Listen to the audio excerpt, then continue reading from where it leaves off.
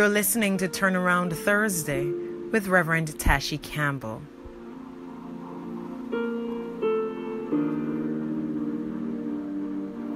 Thank you so much for joining me. First time listeners, returning and faithful listeners, always a pleasure to have you.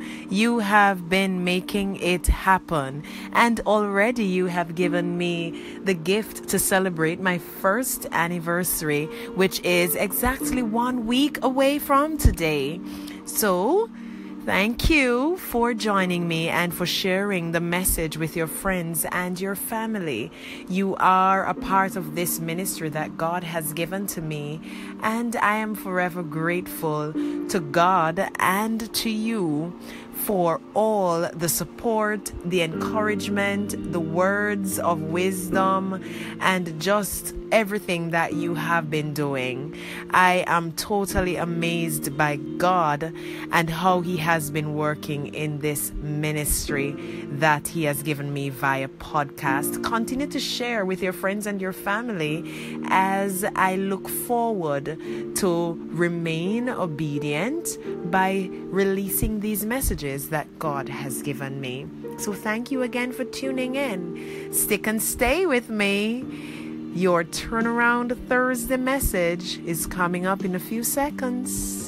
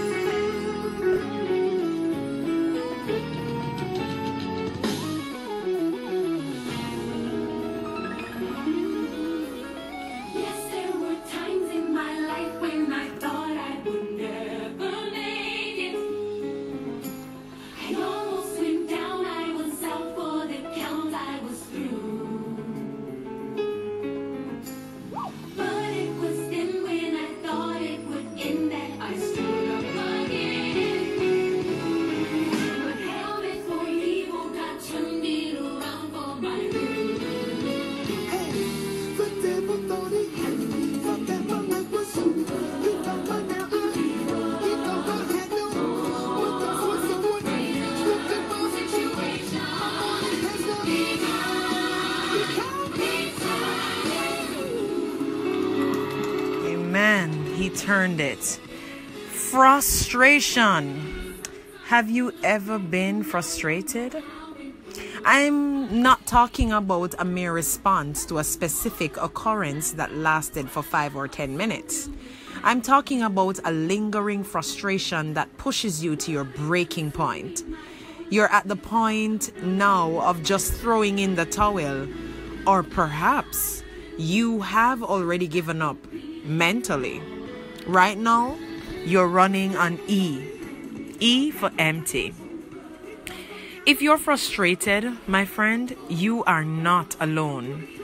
Frustration is the result of unmet expectations, unwanted outcomes, and an unwillingness to accept or even live with the disappointment of one's present reality.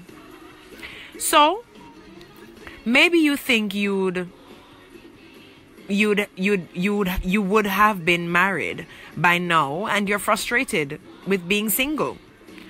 Perhaps you expected the quality of your marriage to be better by now and you're frustrated with the union. Maybe you feel that you would have seen a positive and significant change by now in your job and you're frustrated because you feel that your work is pointless, unfruitful. Or maybe there's a son or a daughter with whom you have been doing so much and the changes you've seen are minimal and you're frustrated. Whatever is frustrating you, my friend, I may not know, but of this I am sure. Frustration is situational. Frustration is situational. This is what the Bible says, and I'm reading a few verses from Psalm 77, and I encourage you to read all of it in your own time. Psalm 77 says, I cried out to God for help. I cried out to God to hear me. When I was in distress, I sought the Lord. At night, I stretched out untiring hands, and I would not be comforted.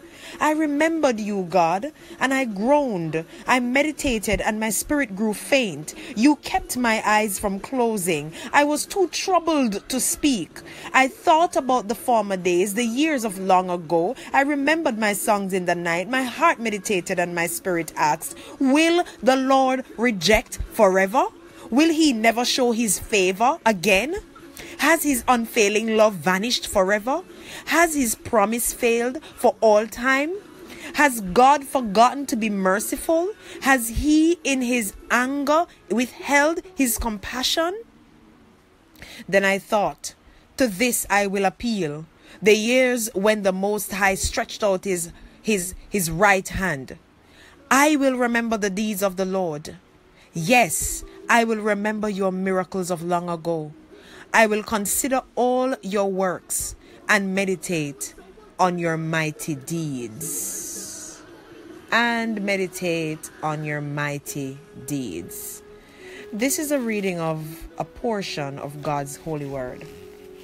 We honor it by saying, Thanks be to God.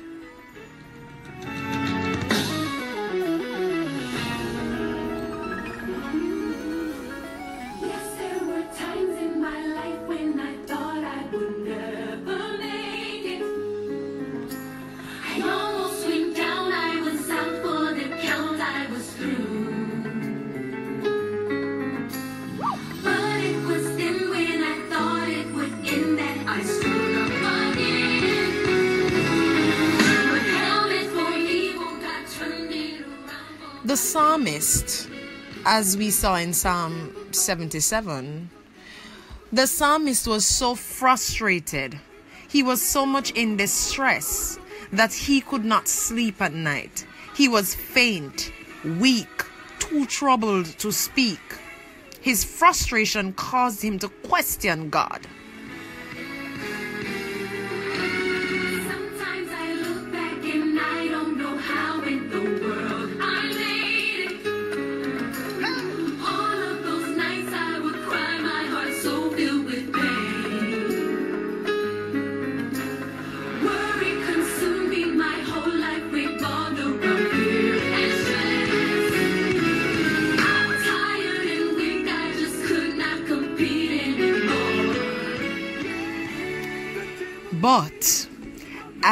The psalmist lay upon his bed in distress, for some reason he shifted his thinking.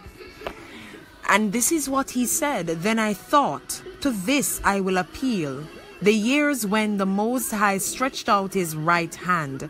I will remember the deeds of the Lord. Yes, I will remember your miracles of long ago. I will consider all your works and meditate on all your mighty deeds. If you're frustrated, my friends, allow me to suggest five things to you.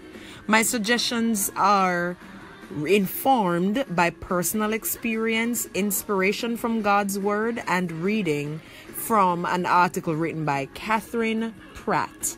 And the name of the, the title of the article is Frustration Eight Ways to Deal with It. So I'm going to give you five things to consider if you are frustrated. Number one, identify the situation that's feeding your frustration. If you can't, if, if you can get away from it, then get away from it. If it's not practical or wise to get away from it, then go to number two, which I'm going to give you in a few seconds. Identify, number one is to identify the situation that's feeding your frustration. And I will be bold enough to say that not every situation that's feeding your frustration it is it, it is not every situation that's feeding fr- your frustration must be must be given a response of getting away from it. So, in other words, it's easy to run away, it's easy to move away, but sometimes it, the, the wise choice is to stay within the situation because God wants to teach you something. So it's important to be led by the Spirit before you move. But identify the situation. It's important to identify the situation. Number two, ask yourself the question what's working in this situation? Find out what's working in the situation, improve on that, focus on that. When you do that, then you will soon realize that the situation is not hopeless after all. So, what's working in the situation? There is always something that is working in the situation. And thirdly, keep a record of everything you are able to accomplish in the situation. Write it down. Keep a record of everything you are able to accomplish in the situation. And then number four, zoom in on the big picture. So, what do you want to happen? Do not ask yourself, why did this happen? Because every time we ask ourselves, why did this happen? You find that questioning why this happens keeps you stuck in the past. So now is not the time to ask, why did this happen? Instead, what do you want to happen? What do you want to happen differently this time? What do you need to do in order to get there? So keep the big picture in mind because sometimes we get bogged down in one problem that's causing the frustration and we get so tied to that that we forget about what we're really trying to achieve in the big picture. And finally, number five, remember how God has come through for you in the past and know that He can do it again. Remember Remember how God has come through for you in the past and know that He can do it again.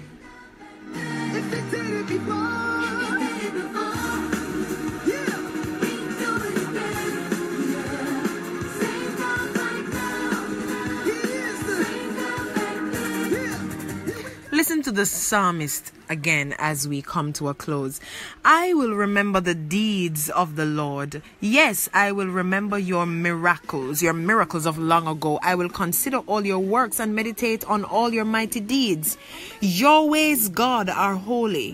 What God is as great as our God? You are the God who performs miracles. You display your power among the peoples. With your mighty arm, you redeemed your people, the descendants of Jacob and Joseph. That's the God we're talking about.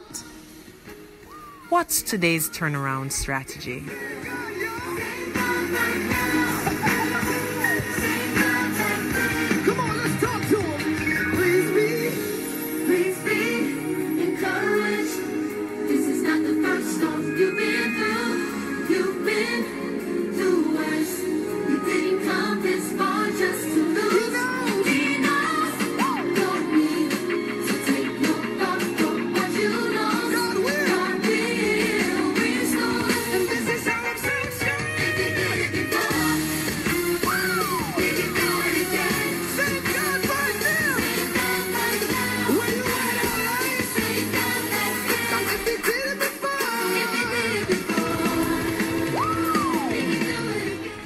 Turnaround strategy is this. A quote from Winston Churchill. A pessimist sees the difficulty in every opportunity, but an optimist sees the opportunity in every difficulty. Today's turnaround strategy again from Winston Churchill. A pessimist sees the difficulty in every opportunity, an optimist sees the opportunity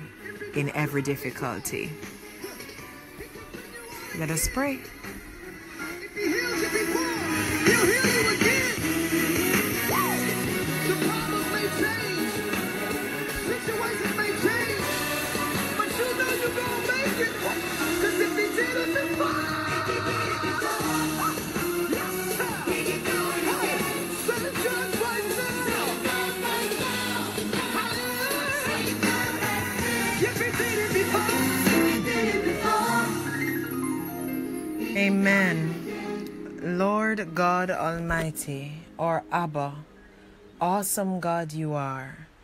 If you did it before, you can do it again. Why? Because you are the same God yesterday, today, and forevermore.